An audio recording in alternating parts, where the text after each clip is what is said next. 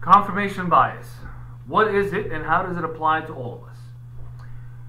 There's actually uh, it's one of the findings and observations in academic research focused around leadership, where an individual makes a decision in the past, has made a decision in the past, whether it's six months ago, a year ago, seven years ago, on a major initiative, project, staffing, funding, whatever it may be. Some time has passed, and that decision has proven to be questionable or less than ideal.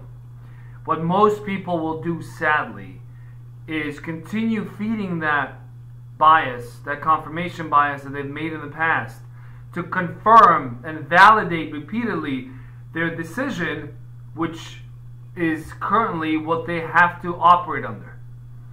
It is very difficult for most people to admit they were wrong, especially publicly, especially if they're in a leadership position, to go to their whole team or the entire organization and say, ladies and gentlemen, remember that project a year ago?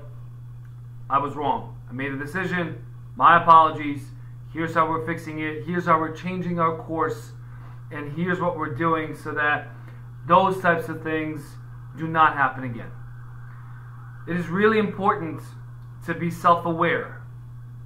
And while I value and appreciate people who are confident and know what they're doing, don't become arrogant. And don't just self validate your decisions you've made in the past for the sake of decisions that you're currently living and operating under. If there's a mistake, fix it, apologize it, apologize for it, and move on. There is no sense in continuing down the wrong path if you now know that that is the wrong path. Yes, in the past you made a decision based on the information you had in front of you at that time. Now you have more info, more data. And if that data does not support your initial decision, please be a leader enough and a man or a woman enough to step up and say, I was wrong. My apologies. Let's fix it.